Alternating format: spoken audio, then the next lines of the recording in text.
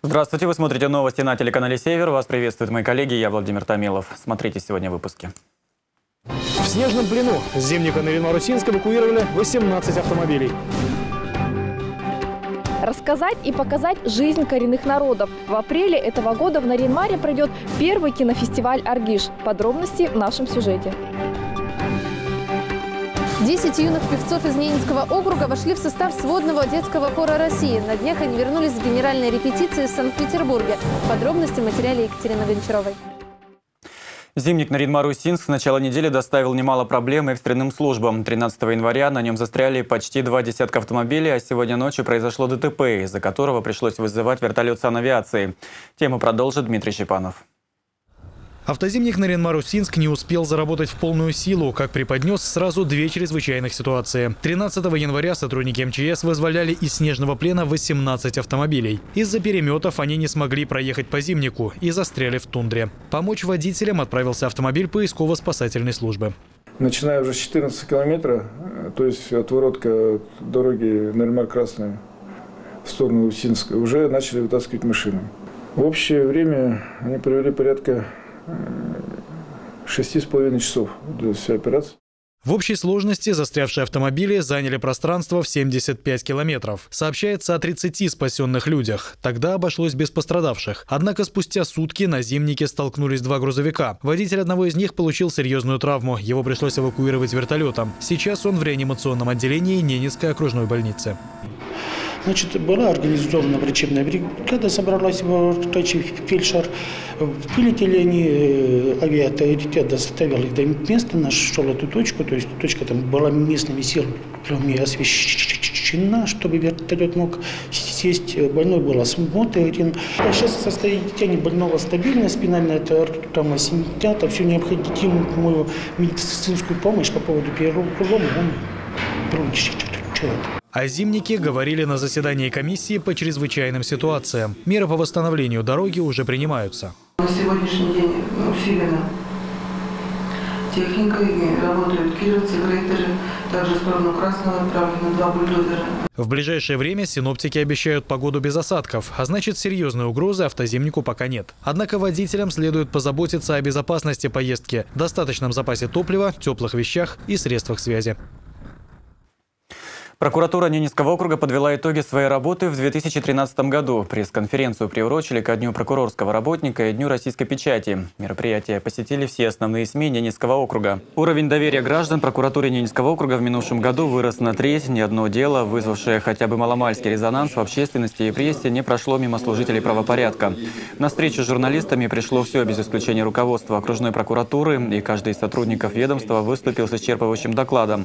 Говорили обо всем, от защиты прав пенсионеров пенсионеров в Ненецком округе до увеличения в три раза количества умышленных убийств в регионе. Противодействие преступности, коррупции и проявлению экстремизма, борьба с наркотиками – это лишь часть тем, которые обсудили сотрудники прокуратуры в ходе пресс-конференции. Говорили сотрудники прокуратуры и о планах на 2014 год. Год выборов это активно используется, будут в том числе и средства массовой информации для решения каких-то своих политических, э, может быть, и амбиций, планов – Э, поэтому я бы хотел, чтобы средства массовой информации объективно отражали э, все э, процессы, которые происходят. Николай Егоров поблагодарил журналистов за существенную помощь в укреплении законности и правопорядка, формировании правосознания граждан и вручил почетные грамоты главному режиссеру Ненецкой телерадиовещательной компании Марии Кравченко и заместителю главного редактора региональной общественно-политической газеты Нарьяна Вендра Ольги Крупинье, а также объявил благодарность старшему редактору территориального отделения ГТРК Поморье Надежде Хабаровой и телеоператору Ненецкой телерадиовещательной компании Владиславу Носкину. Сегодня исполнилось три года со дня образования Следственного комитета Российской Федерации. 15 января 2011 года вступил в силу соответствующий федеральный закон. Как сообщалось в пояснительной записке к законопроекту, функционирование Следственного комитета вне системы прокуратуры создаст необходимые условия для более эффективной работы как органов прокуратуры, так и следственных органов. В Наринмаре, как и в других городах, функционирует подразделение этого ведомства. Наша съемочная группа побывала в гостях у сыщиков и первой поздравила их с профессиональным праздником. Официально праздничного статуса День образования Следственного комитета России пока не имеет. Однако в совсем еще молодой структуре к дате 15 января относятся очень серьезно. Следственный комитет образован указом президента Российской Федерации от 15 января 2011 года в качестве самостоятельного и независимой системы следственных органов, выполняющей чрезвычайно важную работу по расследованию наиболее опасных и сложных преступлений. Нарьянмарский межрайонный следственный отдел также был создан три года назад, 15 января. За это время сыщики подразделения завершили расследование 158 уголовных дел. Ровно 100 из них окончены, 80 направлены в суды. За три года нарьянмарские следователи провели 1653 проверки по поступившим сообщениям о преступлениях. В результате было возбуждено 96 уголовных дел.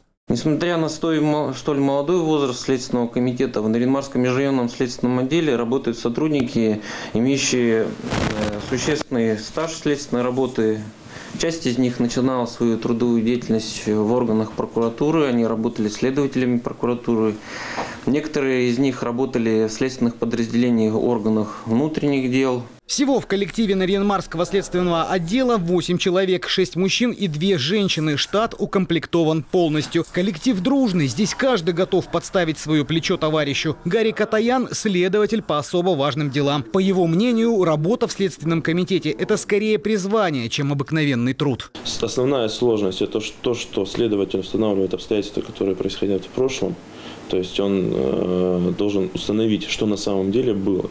И тут он может выслушивать разные мнения, то есть и как соявителя, и как э, потерпевшего или представителя потерпевшего, в том числе и подозреваемого в будущем и обвиняемого. Самое важное в работе следователя – сделать правильные выводы из собранных им материалов и доказательств по делу. Это большая ответственность, поскольку зачастую именно от правильного решения сыщика зависят человеческие судьбы.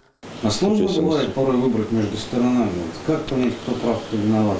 Сложно, да, особенно в ситуациях, когда все это происходит один на один. То есть э, одна сторона говорит, что было, другая сторона говорит, что не было. Тут уже приходится опираться на другие доказательства. Елена Чапурная работает в следственном отделе помощником следователя. Именно на ее хрупких плечах висит вся отчетность подразделения. Вокруг ее стола лежат десятки томов с уголовными делами и стопки самой разной документации. Все эти бумаги необходимо помнить и знать, где какая лежит. Ведь любая из них может срочно понадобиться следователю в тот момент, когда дорога каждая секунда. Но и это еще не все обязаны обязанности Елены? Регистрирую всю входящую и исходящую почту, регистри... Э, сообщения принимаю о преступлениях. Ну и как вы думаете, без вас бы справились? Думаю, что нет.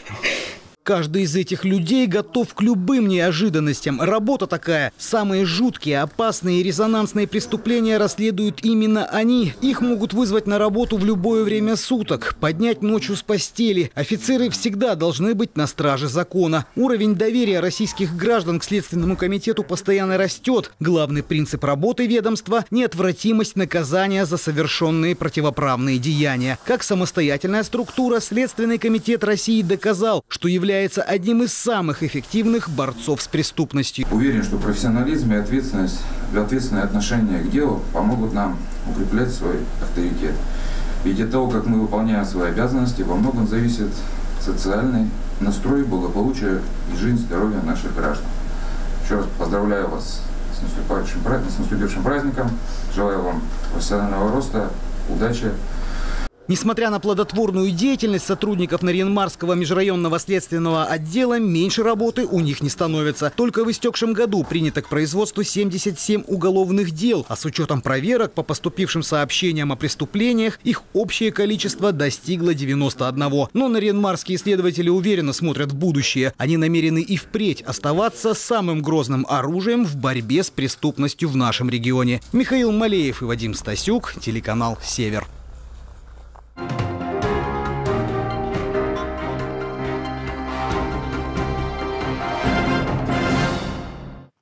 Ненецкий округ готовится к годовщине вывода советских войск из Афганистана. По распоряжению губернатора Игоря Федорова создан организационный комитет и утвержден план мероприятий, посвященных памятной дате. Они пройдут в Наринмаре 15 февраля.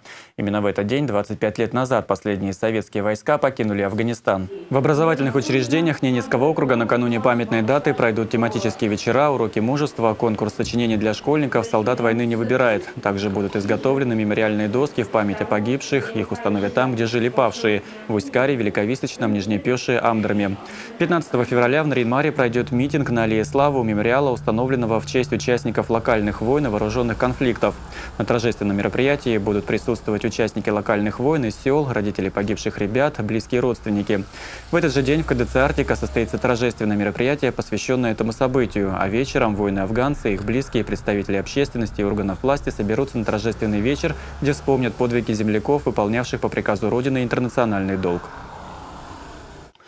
Столица будущей Олимпиады в ожидании не спортсменов и тренеров, а новых кадров, специалистов и рабочих. В Сочи требуются инженеры, горничные, водители и машинисты. Всего вакантно более трех тысяч рабочих мест. Трудоустроиться в городе-курорте могут жители и нашего региона. Рабочие руки в Сочи требуются как на время проведения Олимпиады, так и долгосрочный период. Некоторые работодатели предоставляют служебное жилье, организуют питание и доставку до места своим сотрудникам. Ознакомиться с перечнем вакансий можно на официальном сайте Центра занятости населения. Если удалось удалось найти подходящую должность, необходимо обратиться в Центр занятости по месту проживания для оформления необходимых документов и анкеты. Центр занятости отсылает э, эту анкету э, вышестоящий орган, так скажем, потому что там в некоторых случаях мы отсылаем в Центр занятости города Сочи, в некоторых случаях в комитеты специально созданные, да, в зависимости от того, какая организация набирает себе э, персонал. Помочь в трудоустройстве может специальная комиссия. В ее рамках тем, кто переехал в другой регион, предоставляется компенсация расходов. Если человек устроился на постоянное место, ему оплачивают проезд всех членов семьи, провоз багажа, единовременное пособие в размере прожиточного минимума на каждого члена семьи и суточные. При переезде устройстве на временную или сезонную работу оплатят также проезд, провоз багажа, найм жилья и выдадут суточные.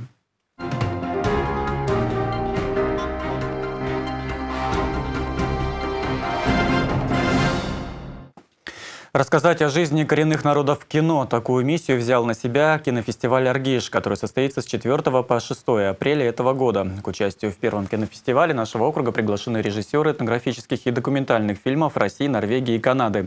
Организатор мероприятия «Этнокультурный центр» приглашает принять участие в конкурсе. Кинофестивали о жизни коренных народов сегодня не редкость. В России и за рубежом ежегодно проходят показы этнографических фильмов. По словам организаторов «Аргиш», такое имя дали фестивалю – это не просто следование мировым тенденциям. Благодаря вот этим фильмам можно проникнуться, можно понять, что такое коренной народ. У, многих очень приятное мнение бывает, ну, что там в тундре, да, пасут олени. А на самом деле, когда посмотришь фильм, ты понимаешь, это какой-то труд, да, ты понимаешь, ты видишь, э, ты сопереживаешь уже героем фильма, ты понимаешь, что в тундре жить, может быть, она нелегкая, но там есть свои плюсы. К участию в фестивале приглашены создатели этнографических фильмов. Их работы отражают проблемы сохранения и выбора дальнейшего пути развития аборигенного народа. Уже известно, что приедет обладатель премии Ника Алексей Вахрушев. Его фильм «Книга тундры» рассказывает о конфликте поколений. Эдгар Бартенев привезет документальный фильм о буднях оленеводов Северного Урала «Нярма». Воркутинские немцы отходят, счастники. Там одна девушка понравилась. Ну ничего, нынче, может, сосватаемся. Я влюбился сразу с первого взгляда. Хотел ее украсть, но не получилось. Приглашение на фестиваль получили и зарубежные режиссеры фильмов в Канаде и Норвегии. В Северной Скандинавии проживают коренные народы Саамы. Их образ жизни очень похож на жизнь ненецкого народа. Это оленеводство, традиционные промыслы и рыболовство. На данный момент отправлены приглашения двум участникам. Надеемся, что норвежские кинорежиссеры, снимающие о жизни коренных народов, откликнутся и приедут на фестиваль Аргиш в Наринмар и расскажут о жизни коренного народа э, Норвегии, о самых. Один из пунктов программы – конкурс видеороликов на в кадре. Каждый желающий может принять в нем участие. Для этого надо снять ролик о жизни коренных народов. Тематика самая разная – культура, обычаи, ремесло, фольклор, литература, национальные герои, семья. Формат видеосюжета тоже на выбор. Интервью, репортаж, анимационный фильм. К конкурсу допускаются видео, снятые как на профессиональную камеру, так и на мобильный телефон и фотоаппарат. Валентина Чибичек, Вадим Носкин, телеканал «Север». Наринмар сейчас находится на 68-м месте в рейтинге интернет-голосования всероссийского проекта «Город России». Конкурс направлен на выбор наиболее значимого, узнаваемого и символичного города нашей страны. В проекте участвуют крупные населенные пункты административные центры с богатым и неповторимым историческим и культурным наследием, достойные стать национальным символом. Проект проводится уже в третий раз. Его главная цель – сохранение культурно-исторического наследия, укрепление национальных ценностей и возрождение интереса к истории российских городов. В списке 81 претендент назван звание самого популярного и значимого города страны. На сегодняшний день в тройке лидеров Иркутск, Чебоксары и Уфа. Ринмар находится на 68-й строчке. В прошлые годы заполярная столица занимала 64 и 30 места. Отдать свой голос за понравившийся город можно на сайте город-россии.рф. Для голосования не нужна регистрация. С каждого IP-адреса можно проголосовать только один раз в сутки. Самый привлекательный и узнаваемый город страны определят 30 декабря 2014 года. Десять юных певцов из Ненецкого округа вошли в состав сводного детского хора России. Пятеро из них – воспитанники городской школы искусств, вторая половина – учащиеся Дома детского творчества и поселка Искателей. Каждый из ребят прошел нелегкий региональный отборочный тур. Главными его критериями стали знания музыкальной грамоты и отличные вокальные данные. На днях юные дарования вернулись из Санкт-Петербурга, где впервые смогли спеть вместе с остальными участниками сводного хора. Подробности узнала Екатерина Гончарова. Более тысячи вокалистов из 83 регионов страны впервые встретились, и их голоса сразу же слились в единое целое. Грандиозный концерт на новой сцене Мариинского театра стал генеральной репетицией. В таком же составе хор выступит на закрытии зимней Олимпиады в Сочи.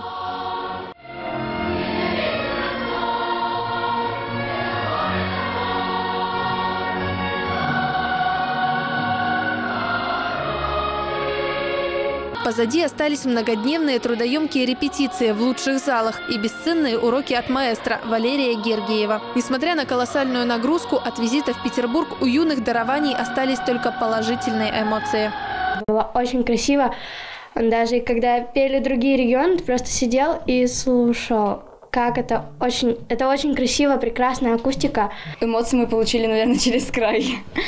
Столько народу было, потом в конце аплодисменты, крики. И сам Гергиев, конечно, тоже поразил своей работой, столько для нас сделал. Нам очень хорошо держал, держал, хотя не всем было видно, потому что там народу было много. Потом после концерта все качали, браво, мы благодарили, качали, э, кто-то плакал, кто-то смеялся. Создание сводного детского хора – один из самых масштабных проектов Всероссийского хорового общества. На коллектив уже сейчас возлагают большие творческие надежды. После Олимпиады хор продолжит свою работу. В дальнейшем планируется его участие в различных культурных проектах, фестивалях, международных мероприятиях и торжеств по случаю государственных праздников. Руководитель хорового общества в Ненецком округе за наших ребят искренне рада и надеется, что хоры вскоре зазвучат в каждом детском учреждении региона. Хорошо, что им все понравилось, что они окунулись. Это, знаете, это такое, вот когда ты поешь, и твой голос сливается в сонме других голосов, это не передать э, такое впечатление, ощущение. Ребята же признаются, усталости не чувствуют, они полны творческих сил и с нетерпением ждут 15 февраля, когда отправятся в Сочи. И, конечно же, самого выступления, которое состоится 23 февраля на закрытии Олимпийских игр. Напомним, в Сочи выступит еще три творческих коллектива от Ненецкого округа. У каждого коллектива есть расписание уже где они, на каких площадках выступают, какое им время отведено для выступления. Но каждому коллективу отведено от 30 до 40 минут, но это не значит, что они пришли, выступили и ушли. Вот э, эта программа идет нон-стопом, то есть вот в течение дня несколько раз каждый коллектив он выступит. Народную культуру Ненецкого округа на Олимпиаде представит фольклорный ансамбль «Родные напевы», ансамбль русских народных инструментов «Северяна» и танцевальный коллектив «Хаяр». Екатерина Гончарова, Владислав Носкин, телеканал «Север». Это все новости на сегодня. Всего вам доброго и до новых встреч в эфире.